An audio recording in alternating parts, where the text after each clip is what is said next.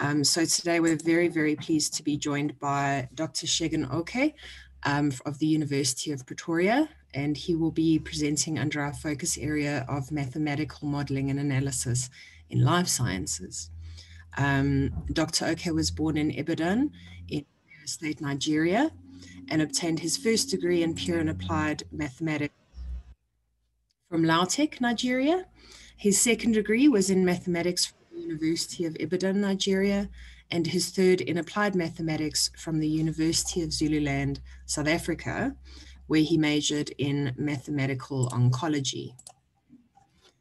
Um, he has published both infectious and non-infectious research papers and has presented in local and international conferences. He is currently a postdoctoral fellow of the Department of Mathematics and Applied Mathematics at the University of Pretoria under the tutelage of Prof. Rachid Ouifki. Um, and today he will be presenting a seminar entitled Mathematical Model for the Estrogen Paradox in Breast Cancer Treatment with opt Optimal Control. So please join me in welcoming uh, Dr. Oke and please Segun if you would like to go ahead and take over. Thank you.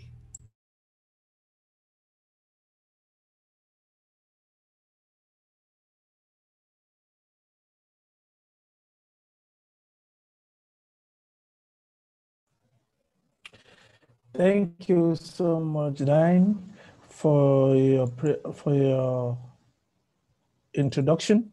I believe you can hear me. Yes, perfectly. Thank you. Oh.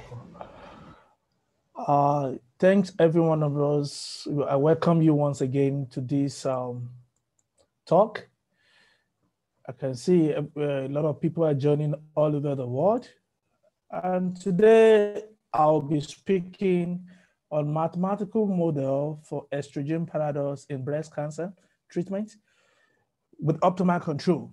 And the control we'll be talking about here will be quite different from usual control. We'll be talking about bang bang control. And uh, this work is joint work with uh, my host, Professor Rachid Ouifki, and uh, and with some of his encouragements and inputs, we have it together. Yeah, the outline of today's talk will be, we have a section for introduction. We have um, current, our, during the introduction, we'll be talking about overview of our previous work, research, um, mathematical model formulation on estrogen and uh, cost effectiveness and its results. Then we move to the current research discussion of results and conclusion. And the aim is to formulating, we are trying to formulate formulating a mathematical model of estrogen paradox for the treatment of breast cancer and analyze with bang control. Yeah, uh, cancer arises from DNA mutation as of today, nobody, even WHO cannot tell us the cause of uh, the cause of cancers or different cancers all over our body. But the problem is we have a lot of risk factor that that's um, linked together that becomes that we can say, okay, this is the risk factor that are responsible for this for this particular part of the body can cancer from this part of the body. Therefore, will be today we'll be looking at uh, estrogen. And if from here now we can see the normal cell. As the normal cell is moving there is something we call a dna mutation dna mutation can arise from all these risk factors that have been mentioned take for example risk factor can be some believe is alcohol some believe is hereditary some believe is tobacco, some believe is hormonal imbalance, and so on. So, but today we'll be focusing on that hormonal imbalance when estrogen, you know, estrogen responsible for over 70%, according to WHO, over 70% of um, breast cancer. That is the hormonal imbalance responsible for that. So we have the, it can be hereditary, as I said, it can be radiation or chemical exposure, there can be spontaneous errors during the DNA duplication. You know, anything can happen that can cause DNA mutation. Now, from here, we can see that the, the DNA is being mutated here and moved to this particular site. And from there, it grew up to uncontrollable. So what is responsible for uncontrollable? Then at the end of this talk, we'll be able to you know, discuss it better to ourselves so that we can know what is obtained, what is responsible. According to WHO, this year, we are told that cancer is the second leading cause of death globally and is responsible for estimated for an estimated of 9.6 million deaths in 2018, according to the 2018 report. That's what they are giving us. Globally now, we believe the, the cancer death, that is one in six deaths is due to cancer. Approximately 70 of deaths for cancer occur in low and middle income countries. So take for example, in sub-Saharan Africa, now we are part of them. So if 70% of deaths for cancer if it's responsible, if you are uh, the debt responsible for debt over 70% or approximately 70%, so we can know that it's a it's a it's a uh, urgent things that we need to focus on.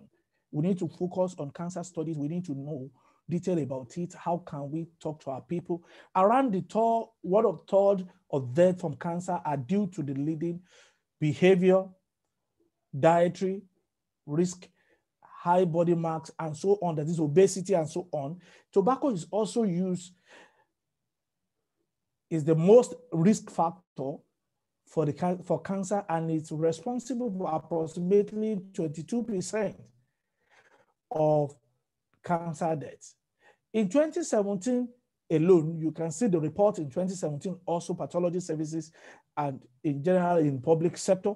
So I won't dwell much, I won't bother you with these stories, but let's just look at the example of this cancer.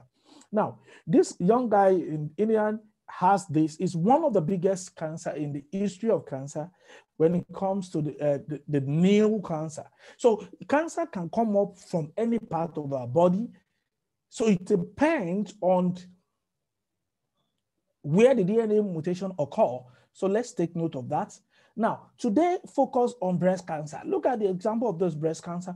What they did to this woman, they have to remove the breast cancer, the, the, the, the, the tumor, and the relapses that occur when it reoccurrence, it now turns to this. So it's one of the way, is one of the biggest cancer, a breast cancer in the world, in the history of breast cancer. Now, our focus today would now look at the South Africa, where is our domain is, now, it, let's look at the trend. According to WHO, in South Africa, for the trend in South Africa, what will happen in 2040, the, the, the trend will be the cases of uh, cancer, especially breast cancer, will be 22,648 new cases. Now, look at the lung cancer. So it simply means we need to seriously work on this uh, advocate about the cancer, about the cancer research, and, uh, and our government should be able to fund some of those things. And but let, let, let's look at it. Look at the burden, the burden of cancer on the budget also. Now, in the in 2018, we, we have over we have one, uh, 170,467. Look at the debt, 57,000, 57,000 debt. But if you look at the incident rate, we have 13.1% incident rate. Is the only, is the cancer that has the highest incident rate as at 2018. Now look at the projection in 2040. So it simply means we need more hands on cancer research. So one of the uh, view overview of previous research, we've been working, myself and my supervisors, my during my PhD work, I was able to do something on optimal control analysis of a mathematical model of breast cancer. We're just trying to build on and look at, go in depth about breast cancer and estrogen as a whole.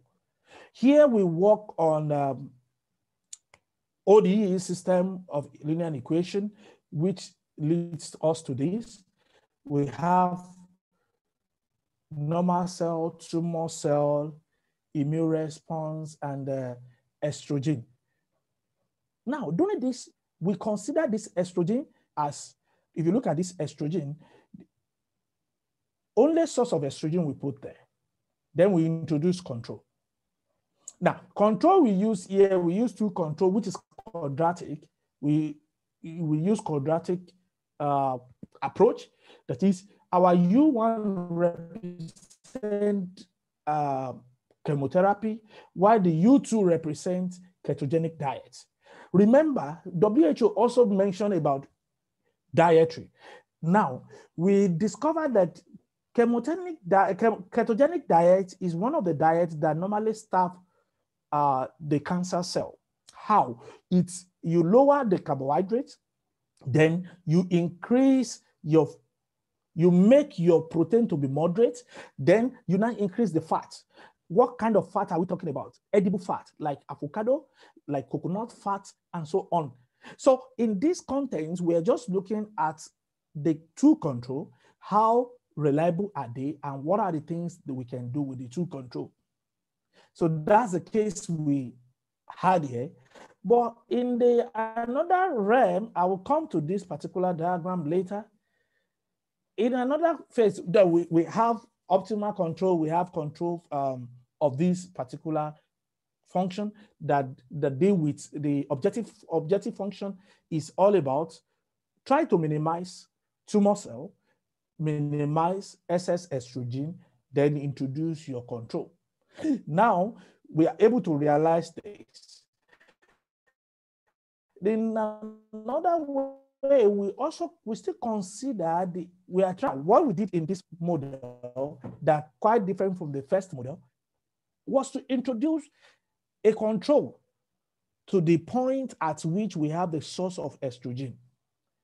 Meanwhile, estrogen, as excess estrogen in the body, can come up due to several factors. One of the factors is by the time you begin to take, uh, uh, after your menopause, you take shots, estrogen shots, just to look fresh, especially remember, immediately you stop menopause, you will not be menstruating again. And the study makes us understand that when you menstruate, you the the the female look fresh, but by the time you are not menstruating again, your faces started wrinkled and coming up. And at the end of the day, people want to look fresh and they are taking the estrogen shot. So many things are responsible for it. So we try to find the cost effectiveness analysis on this particular model, and we discover that we have the use of anti-cancer drug only. This is the effect. The, the second event, we combine the both together and we have this event. And the third one, we are able to use ketogenic diet alone.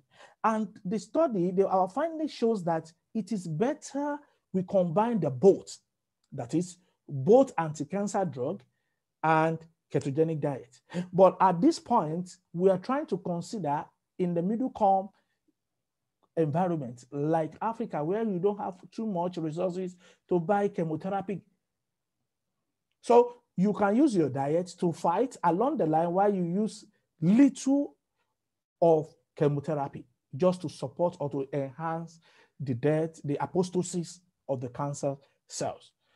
Like I said about this diagram, this diagram is just taking us from JARET 2020. It's just telling us how the goals of what we call optimality, optimal treatment in the patient. One of the things we need to do as a mathematician and as a life scientist, or you need to check, check your objective function, check your mathematical representation, check your data type, check your specific biology. But the key thing here is our biomarker. What is which type of biomarker is responsible to this particular cancer that we are trying to work on.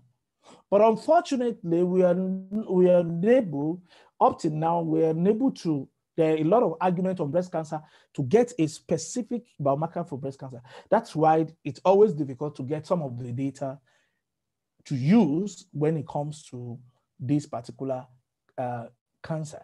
Now let's move on to because of our time. So we have those results, but in the current research, we have estrogen-based model reviewed and uh, for example, the Pillis 20, 2005, they actually work and validate, they validated mathematical model on cell-mediated immune response to tumor growth.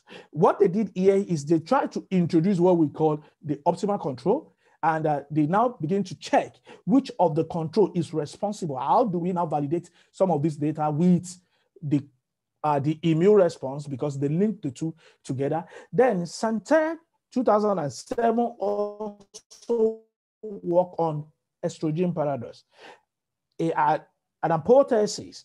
Now, what they did here is they gathered, these are the medical um, papers to support our to, that motivated this study.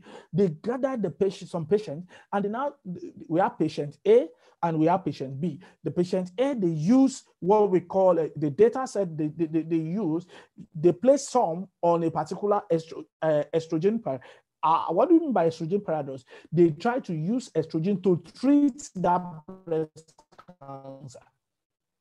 Meanwhile, according to their study, for you to use estrogen paradox, you must have a postmenopausal experience.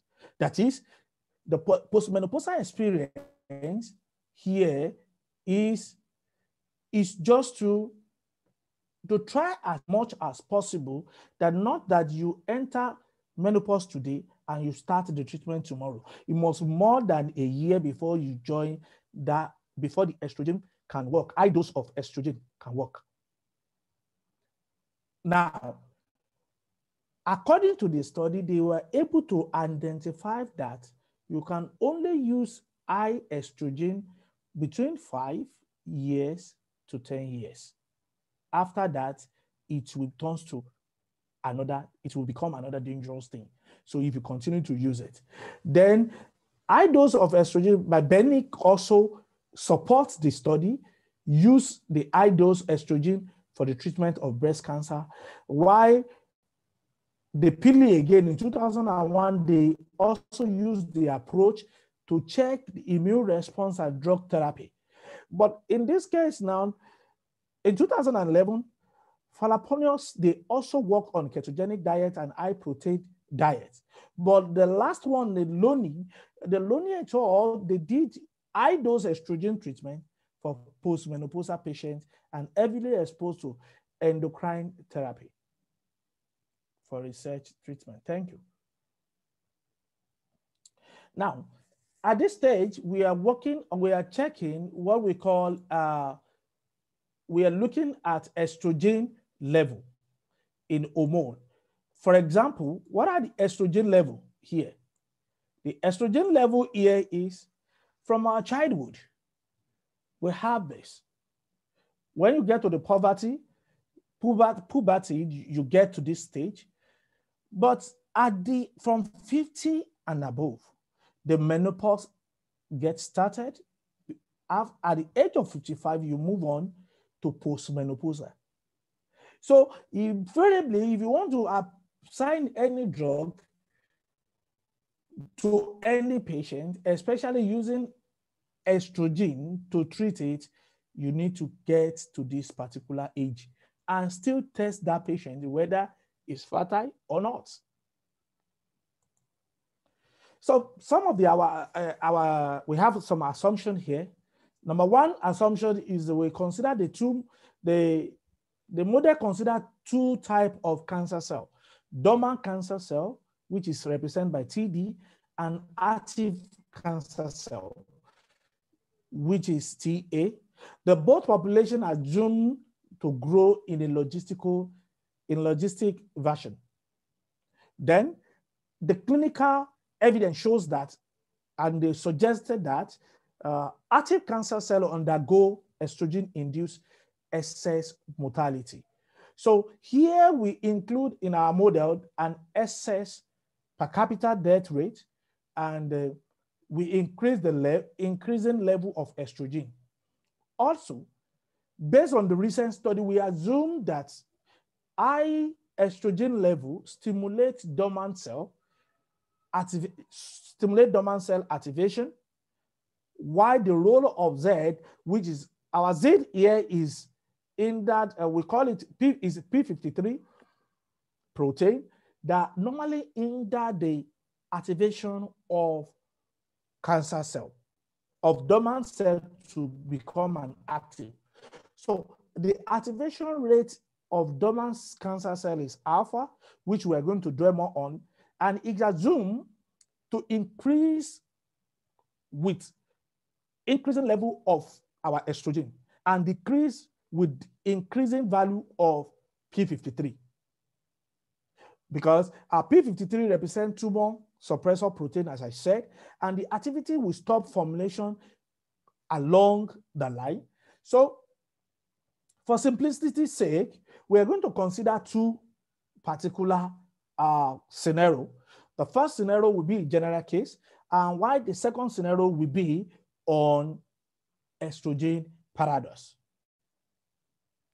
Here is the model. Now, you can see that our TD, which is the TD, dt, the TA, dt, the E, the T, the, the Z, the T. All these are variables and uh, those are the parameters. Now we consider this one in a general case and we also consider it when it become paradox. So one of the things I want you to know, I would like to let us know that here that for the sake of our mathematical analysis, we only require that the function alpha and mu are positive value. However, to put the mathematical finding in the context of estrogen paradox, we will make some additional assumption of this function. The biological motivation and implication of this assumption will be explained there.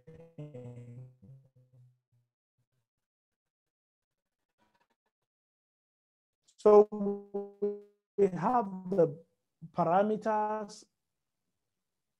We uh, our rate of dormant cancer cells, and uh, we have our own, we have our own uh, growth rate of active cell to be RA, then the carrying capacity is there, natural death rate is there, and the tumor clearance is also there. Now, for a mathematical model to be ascertained before you work on that, you the, we have to prove it that is the first show that is well posed in a biological feasible domain. In fact, using the, the variation of constant formula to that particular model, the model seven, we obtain, before we proceed the analysis, you can see that here we have, these are the, the region we are trying to try to work on, and uh, we show the positivity at the web post of the model. I don't need to, I don't want to bug you with these um, mathematical jargons. Let's move on. Now, the beauty of this work is our local stability, our our local, you know, we have local stability and uh, we have, but we do not even bother to show the, we do not even bother to uh, put the local because they are implies in each other. We, we try to use uh, Poincare-Bendixson theorem along the results of differential because the major thing we apply here is differential inequality. To analyze the global stability behavior, we let alpha naught to be equals to these. Don't forget our alpha naught is active, activation rate, is the activation rate. Then we, we try to consider the first thing when your alpha naught is alpha E naught, comma Z naught. And mu naught is mu E naught over Z naught.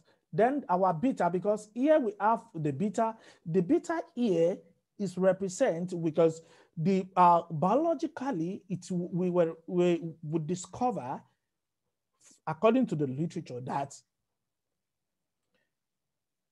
estrogen also the excess estrogen also causes problem to p53 so some of them have to follow to move out of this source due to the excess of that estrogen.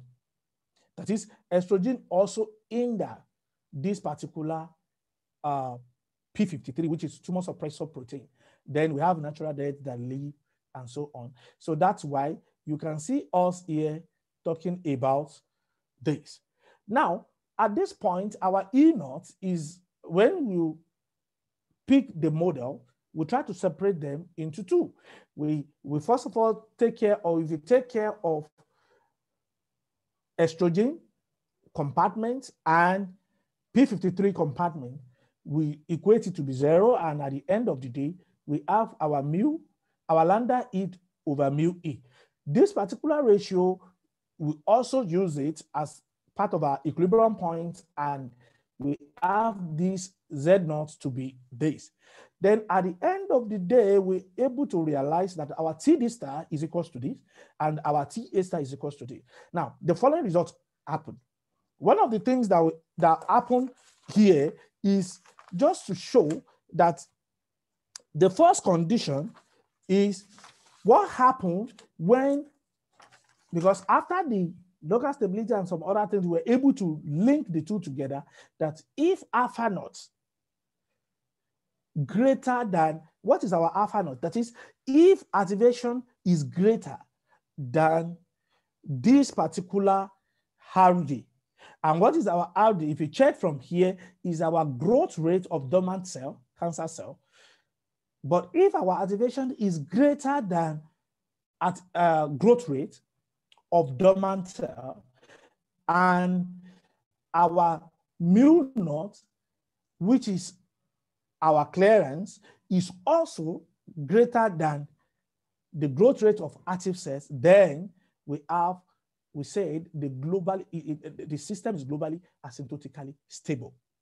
Then if the point two at this point, the result two is if our activation rate is less, is greater than this particular growth rate of dormant cell, and is also mu naught it now change. Otherwise that is you change one of the condition is less than r naught is less than this then we have the, the, the system will become unstable. Now now that one now lead us to another equilibrium point that now lead us to we now have at the point whereby if you look at this equilibrium point the first equilibrium point says epsilon naught, which is at the point there's no tumor. But in a case whereby we have active tumor, that is dormant tumor is zero, active tumor is zero. But in this case, now when we consider the normal, uh, dormant tumor to be zero and active tumor is there, so our, our system will be globally asymptotically stable. Now, if you now look at, at the point whereby all of them are coexist, it simply means this particular activation rate is less than dormant uh, growth rate of dormant cells. So we have what we call they are globally asymptotically stable. So that's the first work.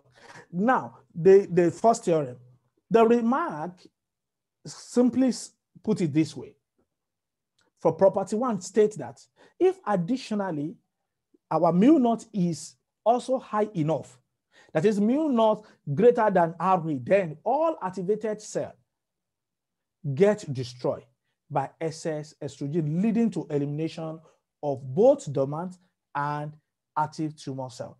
Don't forget, we can only have the excess uh, elimination here by the time we already introduce high dose of estrogen for that patient. That is why it can only work, and the patient you can only put it for, according to the age range, must be post-menopausal patient.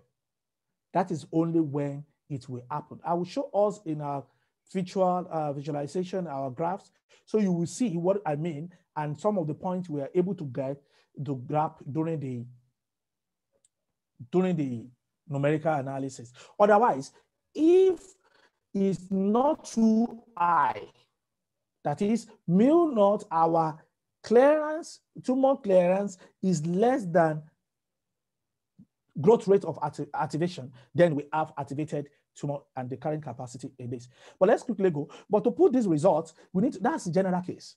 But let's look at the, the other case, since we are looking at, this is case of estrogen paradox. Now, for estrogen paradox, all we need to replace is to replace this gentleman, this by alpha E, that is by replacing it by E over Z. If I'm replacing the ratio, if I put the ratio there, where the function alpha is chi and is continuously differentiable function and satisfy the following assumption. Number one, that is alpha chi equals to zero. If I only, if, uh, if chi is less or equals to chi c, our chi c we know is the E over Z, which is the estrogen paradox. So therefore, it will responsible for some positive threshold value, increasing function. But now let's quickly look at the theorem. So in this case now, we check the global stability also. Anytime you have your estrogen over P53, that is, remember increasing function is the estrogen and decreasing function is, is greater than chi D. This is, it will go, it will go to global asymptotically. It will be globally asymptotically stable. And the same results also happen to the condition two in part of our results and so on and so forth. But let's look at this.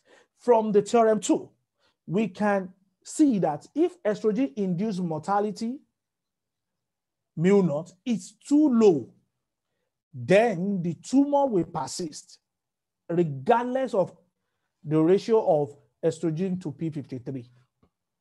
Therefore, we try to encourage the oncologist at this point that, okay, if you really want, there are some points that they need to check. At this point, what amongst of the drug are we going to, uh, the, the, the high dose are we going to put for this particular patient? At what will now remove the ratio, how that, that will remove the tumor that will not allow it to be persist in the body again. So at the end of the day, in other words, depending on the current level of estrogen, increasing in can lead to tumor persistence or elimination. How do we mean? Let me quickly, to say this, for the increases or excess of estrogen at the first stage, for anybody that is less than postmenopausal, it will always be cancer, breast cancer. But it will turn to elimination by the time the person is up to post, postmenopausal age and try to increase and try to apply it. So by that time, estrogen paradox occur. So for this level now, we have activation rate of a function in ratio. That's why you see this is the level of estrogen. And we can see from our graph that at this particular point, when it increases this, it leads to, look at what happened here. Our alpha, which is paradox, it leads to this particular point. But if you check, when you have moderate level of estrogen excess, moderate level, look at the, the, the tumor dormant, it increases. The dormant of our tumors, it increases. Why the activation, it's lower than the tumor, lower than the tumor dormant. likewise, when your level of estrogen, you low level of estrogen excess, what happened at this point? Look at the graph. It reduces the tumor. Look, if you look at this point, the point at which we are talking about tumor dormant is lower compared with the value of tumor activation. It increases here. So now for the high level of estrogen, what happened? The two points are together. Sorry for the for this point because I was unable to separate them here. So at this point, you can see the tumor activation moving up and coming down. At this point, that's where we are talking about tumor. We are trying to showcase the paradox. The paradox of this study, it happened by the time the tumor activation is up and you increase this particular estrogen points also, our TD will also reduce. Now, that now lead us into bang bang control. The bang bang control, we are still working on some of those analysis, but I will just give us a tips what we've done so far on the bang bang control before we conclude. Now, on bang bang control, we try to introduce the um, maximum dose dosage or this particular, and uh, we introduce the linear. And in this linear, we try to increase our P53 to enhance the P53 because anytime you introduce the chemotherapy, chemotherapy will also help. We, we know our the way the, our body normally function is this. P53 is being secreted by body and uh, by P53 gland, uh, DNA. Uh, from then, the, uh, it's moved from then to the protein. And at the protein level, what happened? When the body is signaled that this tumor is about to form, P53 kick off and it went there and it tried to, to imbue the action by regulating it, leading it to apoptosis. But it, when that tumor now overpower the P53, that's what comes in our chemotherapy. We now applied chemotherapy here. We have this objective functional to be. We're trying to minimize this particular gentleman called tumor activation. Tumor dormancy doesn't have any problem, but when it comes to activation, that is where the problem lies. So this we, use a particular uh, uh, we know that when you're using a quadratic uh, function, we'll be using a Pontryagin maximum principle. But in this case, we try to look at it that we have generalized Legendre-Clebsch condition, which is dealing with this particular function. That is, when our five star is greater than is five our five star here we call it on and off when it comes to bang bang problem. So when our switch our switching function is greater than zero, we don't have problem. But when we have one is switching function is less than zero, but at the point when is equals to zero, we need to check it. That's one now leads us to bang bang. Here we introduce the switching function. Our switching function is this. Then our GT TD, comma TA is in this format and our Q is in this format. Then we are able to establish our Hamiltonian at this point using Pontryagin maximum principle and so on. Then we prove them. Then here we are able to establish our switching function by following partial derivative of the whole u. So by the time we find the partial derivative, we're able to establish our, our switching function here. And the possibility of single arc arises is very high. So here we have the singular arc here. The singular arc is when our switching function equals to zero. In the region where switching function is not equals to zero, we have bang-bang control. In order to address the issue of singular arc, switching function is zero on the interval T1, comma T2. This implies that all derivative, because we have a lot of rigorous analysis on that. So lambda 2 and lambda 4 must vanish in the interval before we can do that. Then this evidence determine the optimal control in such region. For more explanation, don't worry, we the paper will soon be out. We are still trying to tidy up one or two things. Then we all will see the beautiful mathematical analysis we did and uh, uh, you will appreciate it more about this um, switching function and uh, optimal control. Then we have to differentiate all these and get our lambda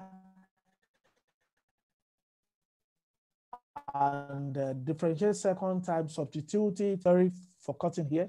Then we are able to realize some of those things, uh, uh, the little graphs here, although we are still working on this particular simulation actually. But because of this presentation, I just quickly show us few of the results, which we are still working on. Our time is in months, and here we have a variable. Now, here is the estrogen at the time when it's lower from its state. But at this time, when you introduce it, the medic when you introduce the control measure, lower the SS at this point. But here, at the point where you, it's still introduced, look at what happened to activation active tumor.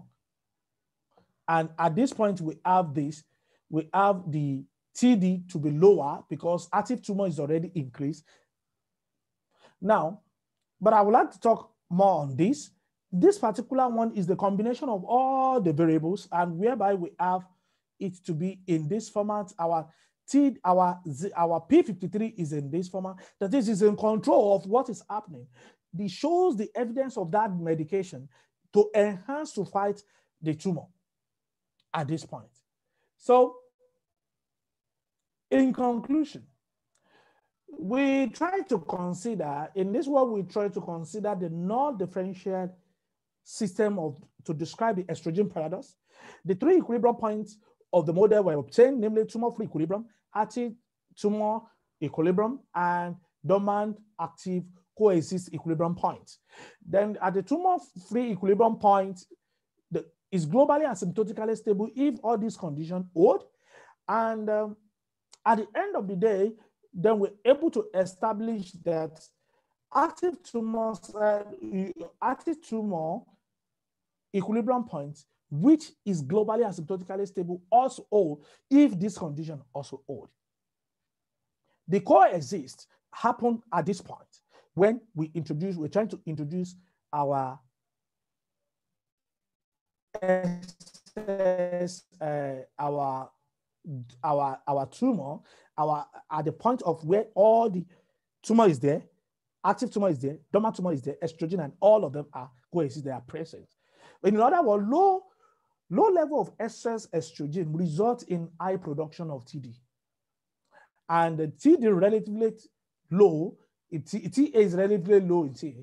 And the high level of TA and TD is obtained when there is moderate when there is moderate level of excess, uh, moderate of level of estrogen.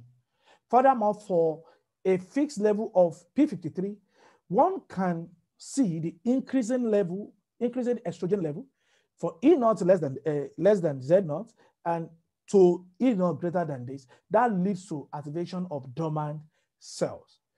Persistence of active tumor cells why increasing excess estrogen level, we have all this that lead into estrogen paradox.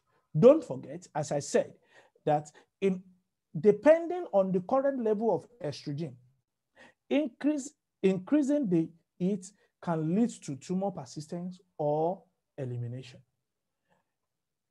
Here is our references, some of the references. I want to acknowledge my host, Professor Rachid Ouifki for his mentorship and uh, uh, the way he mentored and uh, his fatherly love and uh, for the encouragement and for believing in me. Then I want to appreciate Department of Mathematics and Applied Mathematics, of Pretoria, especially the HOD this, and for accepting me to, for accepting to host me in the department. I want to say thank you to them. And uh, to COE, I can't be presenting today without COE Mass. Thank you so much for sponsoring the postdoctoral fellow, for my postdoctoral fellow, for, for the award. I want to say a big thanks to COE. At Gold, I want to congratulate my university, the, my university, the University of Pretoria for now, uh, for the anniversary of one, one, 113 years of existence and uh, um, can I please invite um, anyone to just unmute your microphone um, and please do ask your question or make your comments.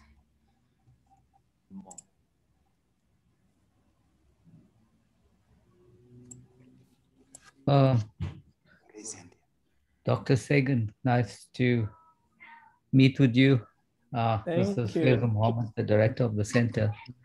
So it's a great pleasure that to hear your talk and the kind of work you're doing. It's uh, something that's uh, very relevant to Thank you. South Africa and of course the world. And um, I hope you continue with this kind of work and we need to showcase it even more uh, because there's some national imperatives for, for, for the center. Uh, just um, some question, maybe a quick question, uh, not nothing uh, like at once. Um, looking at current data, I mean, is there some simulation with your model with what's happening, for example, from a sample of, say, women in South Africa or any particular place? Okay, the question again. Uh, is this, I mean, your model when you when you if you if you look at uh, uh, real data, yeah, how does okay. it uh, um, you know match up to, for example, any particular sample? Okay, yeah, uh, the looking at the raw data, if you can see from the only thing we can talk of in the raw data is, remember I mentioned something about biomarker that you can bear us witness that biomarker that is responsible for breast cancer is still is not still uh, agreed on. Talk of like uh, prostate cancer. In prostate cancer now, you have PSA that responsible. We use PSA as a biomarker to measure it. But with this data now, we only affected some of the data from those um, biological uh, papers so that it can fit into the reality. The only thing is if we can get, you know, the data availability is always the problem when it comes to Africa here. And if we can get a particular oncology that can assure us that we can have a stable patient and we can surely use it to fix in the data and the way they did in the other medical paper. Thank you. Thank you. Thank you. Um, thank you so much, Fazal, for your question. Um, Farai Nyabadza has their hand up. Would you like to unmute and go, go for it? Um, yes. Um, thank you, um, um, Honorable. Okay, it was to you have um, you know um, talk. Um, I, I I enjoyed the talk. You know, I wanted um from your objective function Okay. Um, um, would it have made a difference if you had actually used a quadratic control uh, on the U? I could see it was just um, a linear control on that part. Would it yes. have made a difference? Yes, we can use it. As a matter of fact, where the study is going, we want to check the bang bang compare with quadratic. So we want to see what happened to patients during the bang bang and what will happen to the same patient during the quadratic. So we are trying to combine and co compare the two together because from the studies, studies show us that um, anytime you use uh, in linear control, it is it is completely turned off. By the time you use um, the linear control, the period always continue to turn off. But by the time you use uh, that particular uh, quadratic, quadratic for small patients, the quadratic control comparable to linear control will always be the it reduce same magnitude over the same time. But we want to check in the course of this study that we will use bang bang, which is switching function, and the second one, which is uh, quadratic, to now see the effects. Thank you so much. You're welcome, Prof. Thank you very much, Farai. Um, I have a question in the chat from, I hope I'm pronouncing your name right, from Farai Chirove. Um, I'm assuming that they don't have a microphone. Um, so um, if it's okay, Segun, I'm just going to read the question out. Um, they say, nice presentation. In some of your simulate, in some of your simulations, why do you have sharp corners? What is the significance of these corners in cancer biology, or are these corners a numerical artifact? Uh, yeah, don't forget that um, the sharp corner that you see there, especially in the uh, stability analysis, we are starting them from in a general cases first. By the time you start from general cases, which is initial, you discover that we try to combine the two, we try to plot the two together, especially the active tumor and the dormant tumor. We are just trying to see the effects of alpha, which is activation and the tumor clearance between them, and using the same, using our level of estrogen. When we have low estrogen, moderate estrogen, and when we have high estrogen. So that is what we're trying to check. And I think that's why you can see some of them starting from that sharp corner. And uh, but for the optimal control, that particular one, you see that our TD is parallel low, sharply low to the as, uh, asymptote. But that particular one, it simply means it's, it assumes that all the dormant cell has already been moved to the activation side. So that is the little one for now. But by the time we do more simulation and check different parameters, as I said, we will will come up with good uh, results and uh, they combine the two together with the quadratic. On behalf of the Centre, thank you so much for presenting with us. It's been an absolute pleasure to have you um, for so many reasons, you know, including that you're a um, you know, so affiliated with us that you're an awardee, and it's been wonderful to see your research today. Thank so I want to say thank you very, very much.